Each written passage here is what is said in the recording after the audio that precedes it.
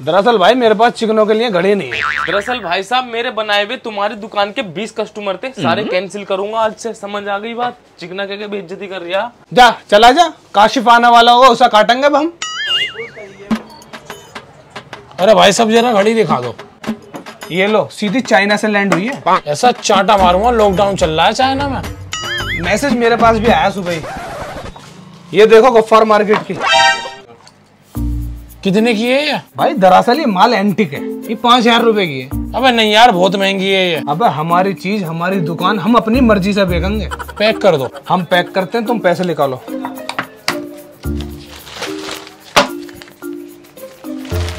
ओए! अबे क्या हुआ भाई? अबे नकली है ये। हमारा पैसा हमारे नोट हमारी मर्ज़ी। घड़ी मेरी दुकान इसका डायलॉग था मेरे पैसे मेरा सामान। अरे वो मैंने दरअसल जो है ना नकली पैसों से घड़ी बेच दी क्या करना? है भैया तो तनख्वाही ही मांग रहा है एक काम करिए ये नोट तू ही रख ले काशिफ!